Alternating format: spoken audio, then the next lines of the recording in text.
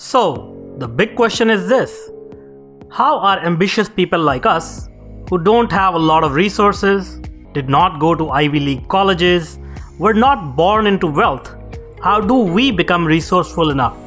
Use our creativity, our dedication, and a little bit of crazy to bootstrap our way to realizing our dreams. Whether it is launching a new company, launching a new app, or making it to the top of the corporate ladder. That is the question. And this podcast will give you the answers. Please like, share, and subscribe to get new episodes, videos, and other updates. Great. Hi, everyone, and welcome to this new episode of Bootstrapping Your Dreams Show. I'm your host, Manuj Aggarwal, and today I'm talking with the founder and director of Build a Biz, Tanya Kraisingr, about how to make your social media efforts count by focusing on the right goals. In this episode, she will give us the, the rules of the road when it comes to maximizing your efforts on social media efforts. And this is a topic that every entrepreneur or professional needs to understand. So, welcome, Tanya. Thank you. Welcome. Thank you for having me. yeah, we are so excited. Uh, Tanya is an entrepreneur and a well known social media expert and she's going to share all her knowledge and wisdom and experience today so that we can get on track with our social media goals. All right so let's uh, dive in. So uh, first tanya can you let us know uh, tell us a little bit about yourself in terms of your background and education and experience and particularly in entrepreneurship and social media? Yes um, i will give the smallest nutshell that i can because um, there's a long road and a long story as most people on this entrepreneurial journey know yeah. right it's, it's never it's never the small short story right yeah, yeah. but in, in the smallest version especially since we're specifically speaking about social media i'll focus on that um, you know i was fortunate enough to to be in my 20s when social media first started to become a thing right so i was still young enough you know to kind of like grow with it um, but old enough to also kind of see value and mm-hmm. business value in it. Mm-hmm. And so when social media was first becoming a thing and you know, I'm talking about like MySpace, like so I'm really gonna date, date myself here. Yeah. Um, I was working in the music industry actually, and oh, so cool. it was a it was a really interesting time in the music industry because it was also when things were becoming digitized. The mm-hmm. iPod was a new thing, and it was a really scary part like time in the industry because we didn't know how to monetize records and albums anymore. It was really like, and this is also the same time where somebody could put a mixtape out on MySpace and cut a record deal. Mm. So it was like the power of connection and audience building. That was when it really, I think, hit us like, holy crap, you know, this is powerful. This is something maybe we're not all using the right way or thinking about in the right way. No. So that really was, I think, the big thing that started it to, to start to look at it differently and recognize it. That started my social media kind of focus within uh-huh. my career. Mm-hmm. And then from there, I ended up working with um, uh, in the CPG industry, which is consumer packaged goods. So. I worked with people like Nestle, um, all the stuff that you see on the shelves in Whole Foods. Worked with a lot of those brands to, to get on the shelves there, and then that became an entirely different way of thinking about social media. Uh-huh. Because you couldn't just sell your bag of chips on social media because it was in Whole Foods. So you had to think about it differently. Well, what gets them to go to the store and what do they want to talk about? What's interesting about this? And so we really had to identify really a different purpose and goal of social media. So i would say that's kind of what took that entrepreneurial journey into into social media and into marketing and that focus was really um, the novelty of the power of it. That's awesome. That's great. Yeah. so how long you've been on this journey? Uh, how long you've been uh, an entrepreneur and uh, a social media I started dabbling as an entrepreneur in 2001. And oh. I would say oh. officially, yeah, I've been office free since 2005. That's nice. And uh, do uh, share your story as well. Like, you know, you have a unique lifestyle, uh, you travel around the world. So uh, do say a few uh, words about that because, you know, a lot of people may find, um, find that quite interesting. And a lot of people have aspirations to do what you do yeah, yeah, I know it's um it's a little trendy is like the uh the digital nomad life and uh we were actually I was just recently featured on on GoDaddy's blog about kind of our lifestyle as well because the digital nomad life is um tends to be thought of that it's only for kind of the youngins right now, the the 20 year olds or the 19 year olds. And so um, my family and I, we do what we call slow, or it's not what we call, other people call it too, slow travel. And what it means is that we go and we settle in a place for usually about six months at a time. You know, so it could be longer, um, but we really settle in and experience the place. Last year we were in Thailand, Vietnam, Bali. This year we were in Sweden. Now we're in Czech Republic so we, we were in LA for some time. My husband and I met in China. So we've been doing this for a long time. And um, I'm able to, to run my business and be with my family and have these new adventures and, and things as a mom, as, as a family unit, the same way that you might see those kind of dreamy pictures of, of those 20 year olds. So I mentioned that only to say that if you might be there and maybe you're a little on the older spectrum like I am and going, oh, that's, that's for the young kids. I'm telling you, there's a way for all of us. That's awesome. That's great. Um, all right. So now let's move on to the rules of the road on uh, about social media. So, what goals uh, do entrepreneurs should set um, to um, to you know make sure that they are getting the maximum benefit out of social media? Well, the main thing I think I really wanted to share today is that there are really only four goals that you can have in social media and four it's, it's only really made up of four equal parts and they're they're all important but it's just one's going to be more important depending on what your specific goals are and understanding how they fit yeah. and what they are is what's going to help you know what you should be posting sure so um, the main parts really it's it's social listening mm-hmm.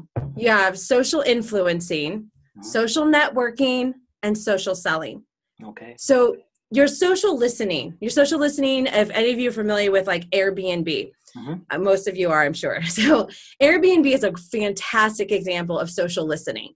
Most of their social media efforts are not based on trying to show you their latest room trying to show you know explain to you what they are. Okay. That's really how they manage their reputation how they listen to problems that may come up if somebody's having a, a hard time doesn't like something about the platform and they complain, they will respond directly. They use this platform to learn how they can improve their service, how to help their customers. It's really um, that's their focus. You don't see a lot of other kind of like new sales, Airbnb. You know that once you get there. So yeah. they use social media specifically for that, and they improve their product by listening, by yeah. interacting with people. And that also goes for not just negative feedback but also positive feedback. Mm-hmm. so that's they're a really great example of of managing your reputation and and listening to your audience about growing it through social listening. Okay.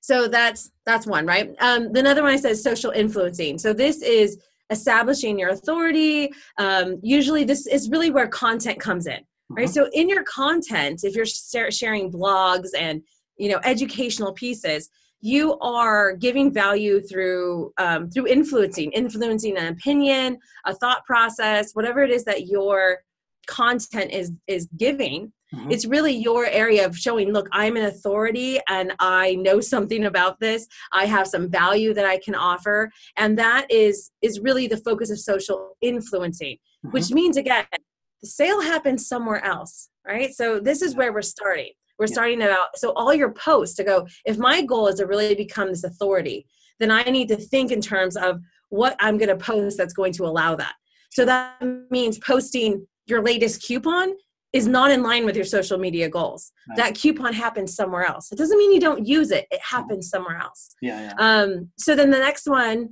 is social networking. Uh-huh.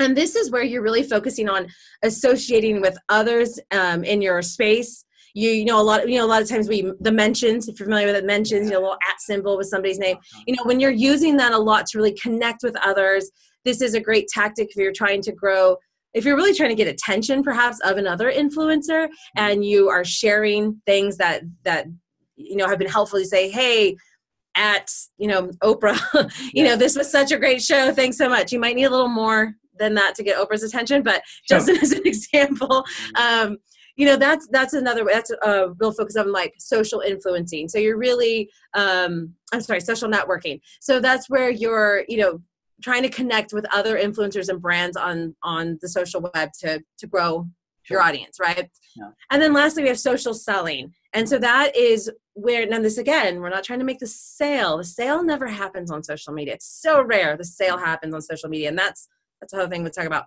But generating leads and, and, you know, prospects like and you know from the web that's really what social selling is it's that lead capture that lead magnets things like that Got it. so so those are the main four right and we can dive into those a lot more but you know if you want to generate leads then you need to be employing the social selling tactics right. if you want to manage your reputation then you need to be focusing on social listening tactics yeah. if you want to increase your web traffic then you're looking at social influencing tra- tactics mm-hmm. so if you don't know and this to what happens most of the time is that people are just they're learning they're reading blogs and they're like oh so and so says this works. Yeah. newsjacking that's a big one um, that that's um, that's taught a lot. And that's by taking something that's a current trending topic and then using it. Well that's a great that's great but if it's not in line with what you're trying to do yeah. it you'll have people maybe interested in it but they're not the ones who are going to leak come to a sale. They're not the ones who are going to show up on your website you're yeah. just posting for the sake of posting got it got it all right, right? so uh, let me ask a couple of questions that come to mind. So you mentioned uh, social listening. Um, now, obviously, Airbnb is a huge company, right? Um, but what about the smaller, on like you know, people who are getting started or small businesses um, who may not have a lot of people, uh, you know, reaching out to them or talking about them?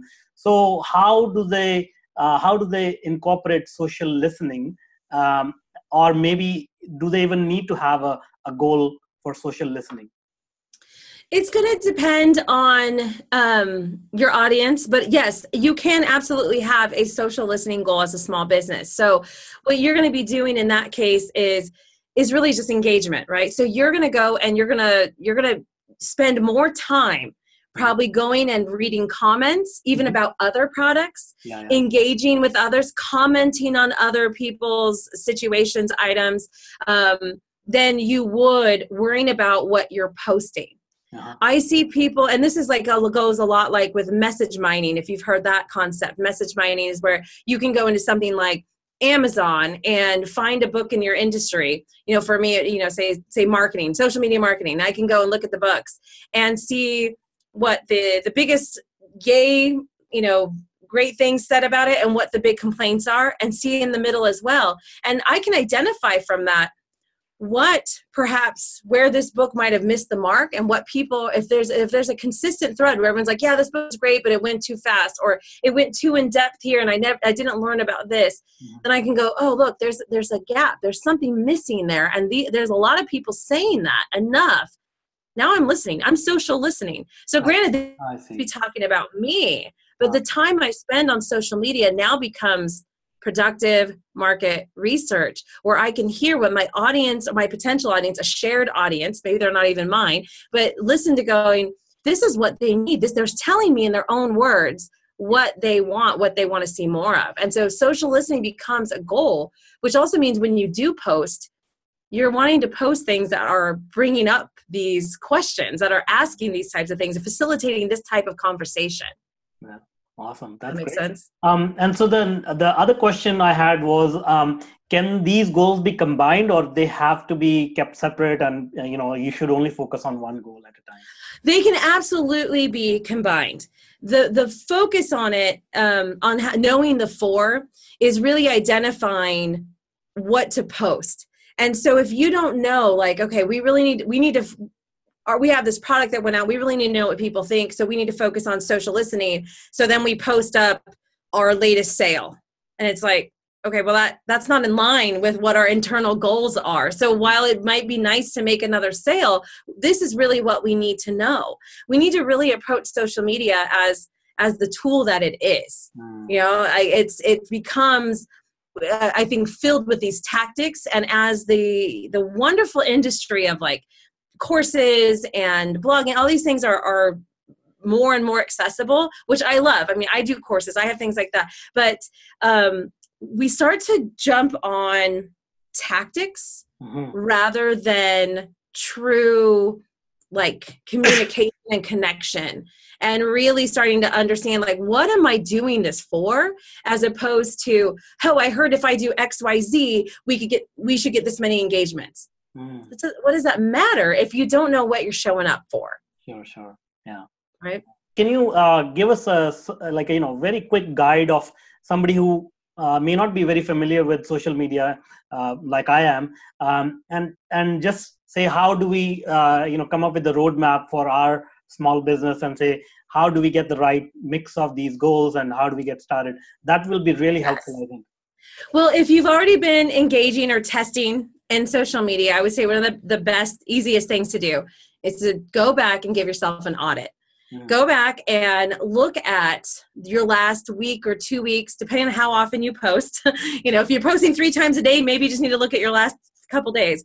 Mm. Um, but go back and look at them and identify which what what tactic you were probably unknowingly using in that post were you social selling were you social listening influencing um, what you know what one of those were you using and identify for each one and look at the percentages mm-hmm. so if you're like wow i was social selling 75% of the time mm-hmm. and i really wanted to just increase my web traffic mm-hmm. which is more of you know my social influencing then you can see right there in black and white that you're employing the wrong tactic for your goal i see i see so, a social media audit is really the easiest thing. Um, as a matter of fact, we have a simple worksheet that explains kind of all of these tactics and has that there. So, that's something I can send to you or send the link um, for your followers yeah. uh, if that's something to be helpful. Um, that they can do it themselves. And it's just a sim- and really it's something you should do often because it's easy to get off the road. It's easy to get, you know, social media is one of those things that's so powerful. But as entrepreneurs,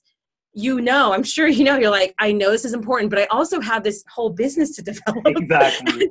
work, right? Like I don't have time and usually don't have budgets for a social media manager. And and and it's scary to do that anyway when you're given kind of your voice and your brand voice to somebody you don't know. So that's uh, that whole thing. So this is a really nice way to identify really where your focus is and and like get rid of the noise uh-huh. like all the other ideas that you could have because you can go yeah that's a really great idea. Oh we could do this web series. Oh we could do this funny thing. Oh it's national donut day. And then realize but wait what is the goal?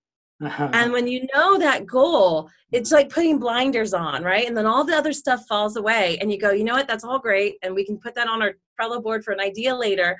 But right now this is what our focus is so this is what the type of stuff we'll post. And then all of a sudden it makes it a lot easier to even make two weeks or a month of your social media ideas ahead of time and even post them ahead and you know schedule them. So now the need for that social media manager isn't quite there yet right? So it kind of also helps you balance out your schedule your planning and how to juggle this journey that is being an entrepreneur. That's great. Um, now you mentioned trello there. So let's uh, uh, you know get into uh, some tactical things about social media. So what are some of the tools besides trello that you recommend people use for um, you know implementing these goals? For social media? Um, well once you do your audit and you identify your goals and kind of you know you and your team whoever it is understand like okay this you know we want to sell this we have this product coming out so we are we have a focus on social selling um, but we also just launched this we want to know what what's happening here. So that means we should kind of post this. You've kind of made like your your game plan right? Mm-hmm. so once you've done that then really it's the tools at that point that I'm using is, I, like you said, Trello. I use Trello for a lot of my plotting and planning, mm-hmm. um, idea collecting. And then from there, I'm a big fan of Later. So I use Later for my Instagram. Oh, yeah. um, you know, it does Instagram stories, it does video, it does everything. So I think the big contenders are Later and Planoly. And I just I can't tell you why. I'm just a fan of later.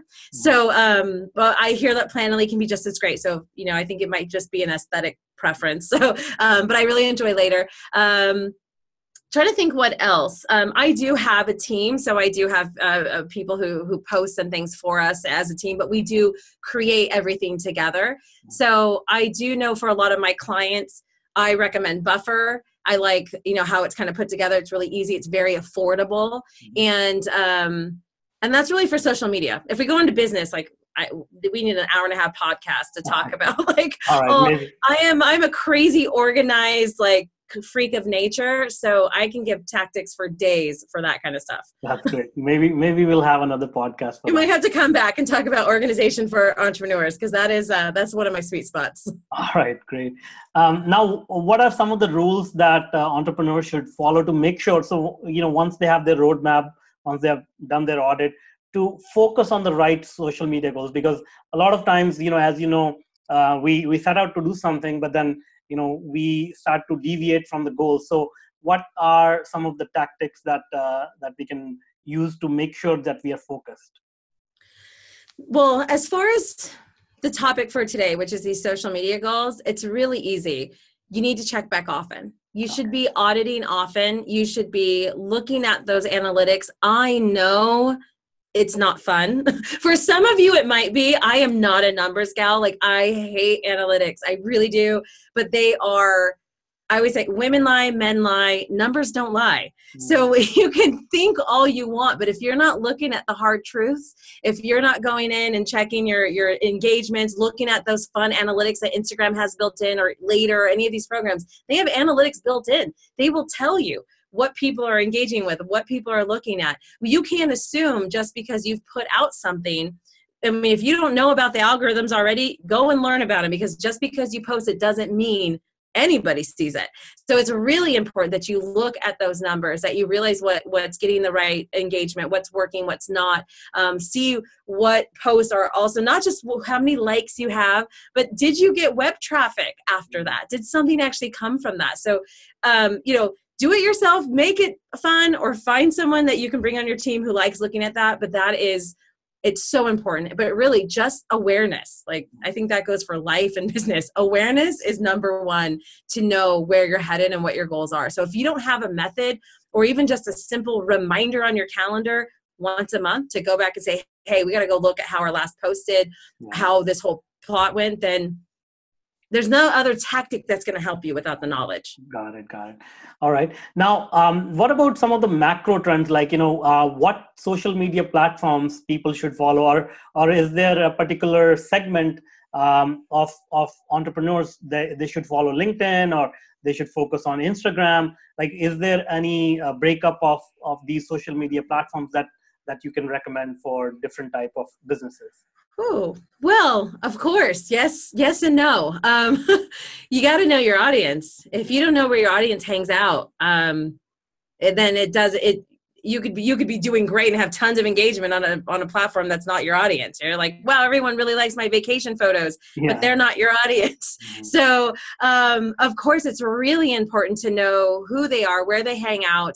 You know, in marketing in general, we kind of joke like this is the only time and space in life where you should stereotype and kind of assume like well if they do this what kind of books do they read? What kind of events would they go to? Where would that person are they scrolling on instagram or are they are they checking linkedin? Mm-hmm. um, you know linkedin is a linkedin always gets touted as a b right? A business to business platform. Yeah. But what's so interesting about that is there's still people, right? They're still individuals. And if anything, the one thing you may know about them on LinkedIn is that they're employed, right? Like if something, like that's really only the big delineation. They're still a group of people, but you also understand the playing field and why people show up there. So you don't go and post on LinkedIn what you had for lunch. That's just yeah. not the conversation that gets had there. If yeah. that's something you want to talk about, then we're talking about Instagram. And, and don't get me wrong, you can take a picture of your lunch and you can very much turn it into a, a good business conversation or valuable information, right? That's your level of creativity and marketing and things like that. But um, they, I, I guess, in a, if I had to like say some like across the board statement, mm-hmm. they are all great for but it's about knowing who you are and the way that people you are like to communicate and also for yourself how you like to communicate yeah. twitter is I know people who do amazing on Twitter. I tried for years and I've done social media, right? I know what works, but for myself, for my personal business, I'm just not a tweeter, okay? It's just not my thing. And so I tried to force it unorganically, you know, back in 2007 and all, and it just never worked for me. And I realized I don't have to be there if that's not where I want to have the conversation. And yeah. so I really enjoy Instagram. I really enjoy, um, I still, I'm a diehard on Facebook still. Um, but that doesn't mean that Snapchat isn't a, still a viable place for people as well. Um, so you will have to do some testing, but I think it's a combination of really understanding your audience, understanding the way you want to have the com- the conversation, because that's a big difference too, right? Because again, what you post on Instagram doesn't fly. Like, and this is, and I will cautionary: don't do one of those services where they take one singular post and put the same thing everywhere. Because people who know that platform, people who are diehard tweeters and see an Instagram post on there, they know that's not how we talk on Twitter. That's not how there's no you don't put 15 hashtags. That's not what's happening. So it's like it's like showing up, you know, to the it's like showing up to uh, you know, regular party in a costume. You know, everyone's like, wait, this isn't a costume party.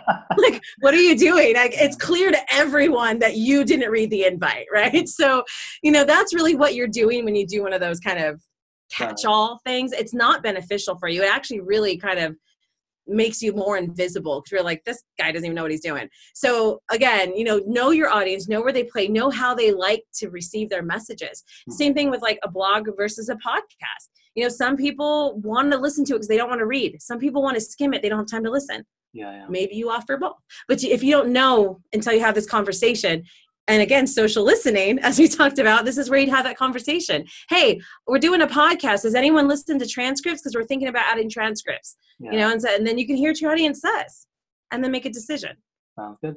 Did that all happen? I kind of went all over the place. Did that answer no, the question? No, this is awesome information. Yeah, I think uh, a lot of people will find a lot of value. I mean, I'm learning a lot for sure. So, good. um, all right. So now, do you have any more guidelines for entrepreneurs uh, to follow that uh, you know that will be helpful to them uh, when it comes to social media? Um, if it isn't already a given, definitely plan ahead. Um, especially again, since we're talking about bootstrapping, trying to do your social media every day is probably one of the poorest choices that you'll make for your business as unless your business is social media management. So if, if you're not a va service or social media management then trying to do it every day is is is necessary for a good social media program but it's not smart as an entrepreneur. So it's really important that you figure it out ahead of time plan it ahead of time schedule as much as you can and then in those moments that you have an organic moment of course jump in there and share it but now you're not in the middle of your day checking emails you know doing whatever your business does and be like oh i haven't posted on instagram where's my phone and i mean that's just i see it too often and it's it's really backwards. It really hurts your business more than you think. So have that plan ahead of time. Have this like approach this the same way like you are a big business. You know, it's you have a meeting with yourself, sit down, set an appointment, set a meeting with yourself and say uh, noon on Thursday, this is my social media planning hour and that's what I'm doing and cut out all the distractions plan it and then then noon on friday is when i'm going to actually write it and do it because the first hour you're just going to figure it out you're not going to be able to fix it all. But yeah. that's what I would say.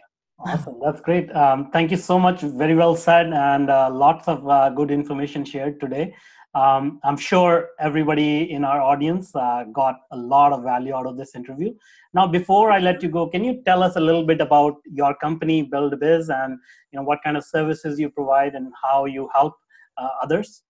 Yes, yes. So um, as uh, you said earlier, my name is Tanya Marie Figueras Kraisingr, which none of you are expected to remember that. So I go by Tanya MFK. You can find me at tanyamfk.com. I am the founder of Build a Biz. And so what we do and what I do is I am I'm a business strategist. So I am a business strategy coach and a life design coach. And life design I know sounds all woo, but the truth is is that if we don't have our day-to-day life mastered, if we're not happy in what's going on, we're not seeing friends and family, which is too often a part of our entrepreneur journey is that we know our laptops more than our friends yeah. um, then our businesses will suffer and burnout does not have to be part of our journey. So i am very when i mentioned i was crazy organized um, basically when you meet with me i teach you without the crazy part how to do the same thing. Um, we also do courses and uh, workshops as well. And as a matter of fact this year we are having our bali retreat where you can plan um, your business strategy all together while you're also learning to surf and have massages and do fun stuff. So that's coming up in October that we're really excited about. Awesome. So I'll, um, you know, if you, if you can send me those links, I will yes. add them to the description um, and the and the worksheet that you mentioned earlier that will be helpful as well Yes, yes. That was going to be your social media audit. So we'll send that on to you guys can do your audits and make sure you're focused on what you need to do and you put those blinders on and don't get caught up in the Kardashians or something. So yeah. awesome. That's great. Thank you so much, Tanya. You're welcome. Have a great day. Thanks. Bye. So again, I'm Manuj Aggarwal and thanks a lot for joining us on Bootstrapping Your Dreams show. And now, if you are an existing or an aspiring technology entrepreneur, then I invite you to check out my new online workshop, Bootstrapping Your Tech Startup Dreams. Go to go.tetranoodle.com slash boot hyphen podcast and sign up for free. I want to make sure more successful and sound decisions are made every day in your tech projects. Let's start finding solutions to your problems. So go to go.tetranoodle.com slash boot hyphen podcast and I look forward to helping you with your tech startup.